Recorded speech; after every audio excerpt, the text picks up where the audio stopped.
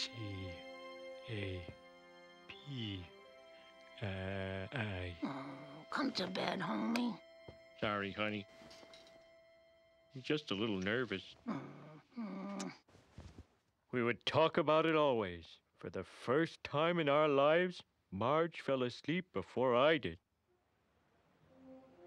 Okay, here are your tickets. They're supposed to be good. You're sitting with the players' wives. And don't forget to cheer for me. I'll see you after the game when you're a big star. Bart was strangely quiet. Later, he explained he was confused by feelings of respect for me. It wouldn't last. Wow.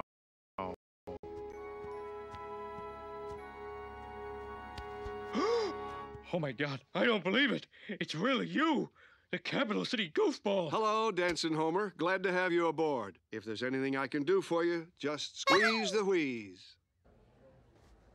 The fifth inning will be yours. Everyone is settled in, had a couple of beers, the game is official.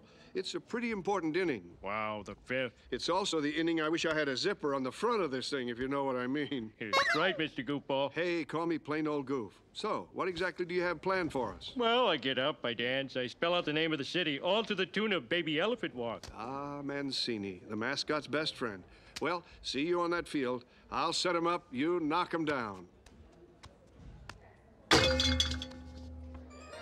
Well, hello again, everybody. Dave Glass talking at you. We got great weather here tonight under the dome.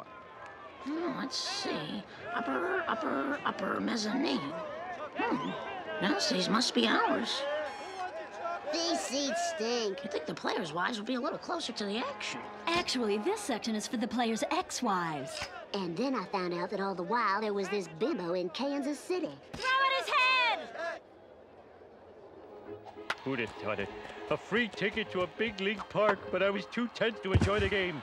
Every ounce of concentration I possessed was focused on the task at hand. Red Hots, get your Red Hots here. Ooh, red hots. Ladies and gentlemen, Capital City's newest sensation, Dancing Home! Hmm.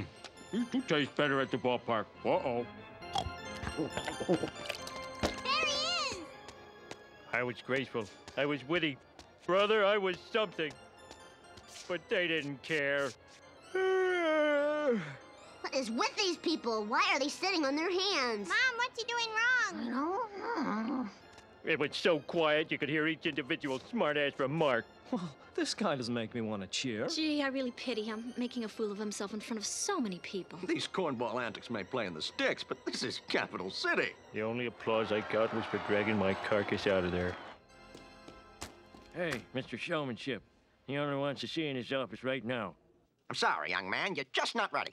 Pick up your check at the front office, and for God's sake, put some clothes on. Well, I guess it's back to good old Springfield. But I can't go back. Not after I've seen the bright lights of Capital City.